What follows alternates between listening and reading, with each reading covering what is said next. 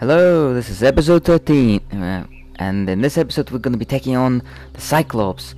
If you remember in the last episode, we've been in Old Eleusis and fighting the three princes, the three skeleton princes. So now we're going to be coming out of there and clearing out the Kirata forest. And it's a massive place, so I'm going to skip a lot of it because most of it is the same, and it's just Arachnos and some other small creatures. And from time to time I'm gonna stop and look at the nice scenery. There's not much left now, just a few more. A few more skeletons hiding here. Skeletons in the closet. Well, alright, looks like we've cleared the Kirata forest. That took a while. But uh, I'll show you on the map, so you can see. It's all clear, the entire place. Done. And now we're gonna be crossing this bridge and fighting the Cyclops, Polyphemus. Get ready for this. We've got some helpers, although they're completely useless. It's quiet and scary. Get ready because this one is gonna be a big one. Uh-oh! Oh shit, oh shit, oh shit. Yeah, let them, let him kill them. Because if any of them is alive, at the point when you fight him and if they manage to finish him off they'll actually get all the experience and you'll get nothing. So oh my god did you see that guy flying past? Right so now we're gonna be fighting him one on one and uh, he's actually he's actually a fairly hard boss because he's got some dangerous attacks like these two you just saw. Um, his regular whacks are pretty easy and when he's foot stomp it does a fair bit of damage but it's not too bad. But uh, that's one of his bad attacks when he does this wave along ground, ground because it can stun you and does a lot of damage. And his other dangerous attack is that roar, which you know, this one. Because this roar, it actually does health reduction. So you best of all to, to just move it out of the way you could have vitality resistance for it, but you won't have that much at this point of the game. So it's best to just run around him, because this way you can dodge his most dangerous attacks. But yeah, I remember the first time when I was actually facing him, I actually found him quite hard. I was like, fuck, how do I fight him? So I basically ran all the way back to the Kirata forest, lured him in there, and since it's wide open space, I managed to just go around, and then I, I came back to the bridge whilst he was slowly trying to find me, and I outran him. So even if you can't beat him, you don't have to fight him. Just run like a coward. Oh yeah. And if you know Polyphemus from mythology, uh, he was obviously one of the Cyclopses, and Cyclopses were actually the well, they were actually good guys because they were helping with forging and stuff. They hel they helped to forge Zeus' Thunderbolt even. But Polyphemus, he was a bit of a dick basically, and uh, we've killed him here. I'm gonna go loot him, and that's his club. It's not anyway as good as what we've got right now, so probably just gonna sell it later. And that's just something I picked up as well, so I'm not gonna have that either. Alright, I'm gonna just loot his chest and um, get more about his story. Oh yes, and uh, this is something I bought from Megara as well, just in case if I might need it, I'll put it here. Just a scroll which will give us some extra damage capabilities. Oh yes, so his stuff is around here. Oh yeah, Polyphemus, he was actually the one of the Cyclops who Odysseus came across during his journey back from the Trojan War. And uh, what happens that Odysseus and his men, they accidentally stumbled upon his cave. And at that moment, Polyphemus came in. And Polyphemus saw them and he's like, hmm, feast. And what the fuck, he's got spiders in his cave. It's like, he's not keeping his cave tight, is he? But anyways, so he basically trapped Odysseus and his men inside the cave with, along with a herd of sheep that he was keeping, and he basically started eating them bit by bit. And um, Odysseus and his men, they have had enough of this shit, so they came up with a plan. One day whilst um, Polyphemus was sleeping, Odysseus and, he, Odysseus and his men got um, his club and just sharpened it into a massive stake. They set the stake alight and then they poked his fucking eye out, and uh, basically blinding him this way. Polyphemus, he tried to, he obviously can't see him, can't see them, so he couldn't catch them. So what he did, he opened the cave again to release all the sheep. And whilst the sheep was going, he basically was kept feeling with his hands to see if he could catch any of the men. But Odysseus was obviously more intelligent than him, so he got his men to hide underneath the sheep as they were coming out. And this way Polyphemus never caught them. And just before this happened, actually, Polyphemus asked Odysseus what his name was, and Odysseus said, My name is Nobody. And Polyphemus believed him like a fool.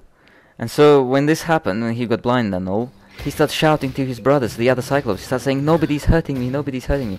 And they were like, What the fuck? What are you on about, mate?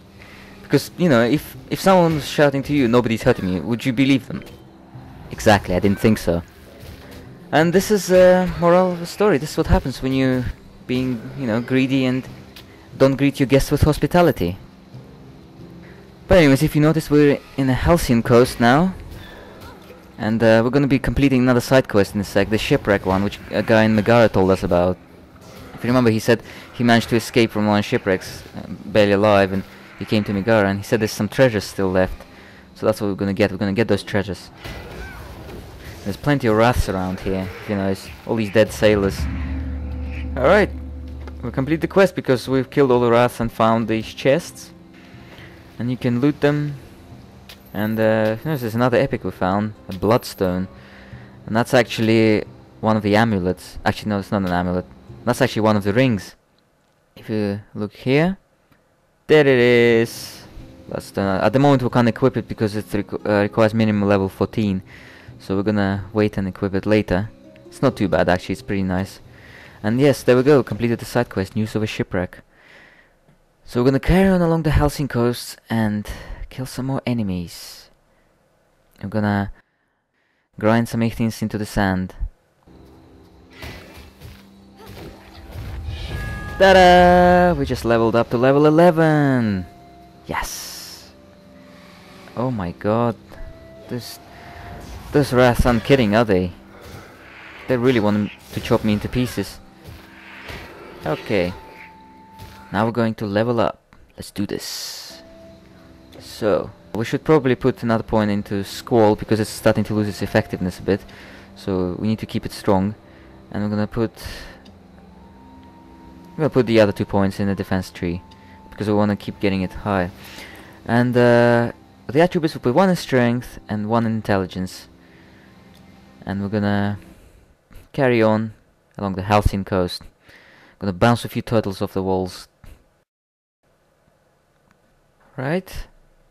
These Ichthians, they never sleep, do they? It's night time. There's tons of shipwrecks here, aren't there? How many shipwrecks? I mean, I thought the Megara coast had lots of shipwrecks. This coast has even more shipwrecks. It's like it must have been, what was this, an entire fleet has crashed here or something. There we go. Loot the remains. Surprised the Ichthians haven't done that already. Alright, and now, if you notice there's a huge cave here in the shape of a mouth, I'm gonna go in there, I'm gonna clear it out, but wait, what's this? A battle marker shrine, yes! We're gonna put it to use now and, and use it to clean this cave out. Because this is gonna make us a lot more powerful. For one minute. There. Much easier way to kill these turtles really quickly. And this is quite a simplistic cave actually, there's nothing too much special here, just more monsters really. So, if you do have an appetite for more monsters to kill, then come here and do so. They're not gonna bite, are they? And yeah, just like the previous cave we've been in, this one actually goes around as well, so it doesn't matter which way you go first. You're gonna come back from the other part. Look how fast this battle marker is killing these turtles. And as soon as the battle marker is gone, our killing efficiency has gone as well. Now we're slow again. Yeah. Seriously, turtle, die already. Energy potions. And what's this? And look at that idiot over there, trying to shoot his staff at me. And he can't get through because there's obstacles. Seriously, mate. I'm over here. Yep. Killing them by the numbers. I don't know why they haven't got the message yet. And that message is simple. Don't mess with me. Cause I'm going to kill you. It takes so much shit. Majestic chest. And who the fuck did that? How dare you? How dare you sneak up on me like this, huh? Come here. Come here, you idiot. Where you going? Come here and fight. There. That's what happens to those with those who mess with me. I'm gonna loot the rest of the place. Nobody interrupts us whilst we're looting. Looting is a sacred business. Damn, there are too many bloody turtles here, seriously.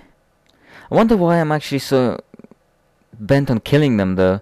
I mean, I don't have to kill them, but they haven't done anything to me. It's not like they didn't steal my bread and didn't shit in my porridge, you know, so I have no idea why I'm slaughtering them by the numbers. I guess what's done is done. Alright, we cleared out the cave. And oh my god, it's a beautiful morning here. Look at this. It's so beautiful. Oh my god. Oh yes. And no morning is complete without some wraith coming to ruin your day.